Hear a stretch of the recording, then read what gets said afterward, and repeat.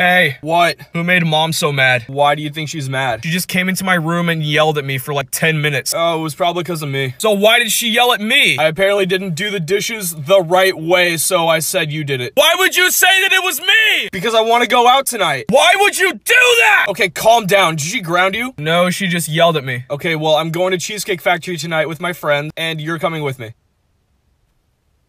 Okay, fine.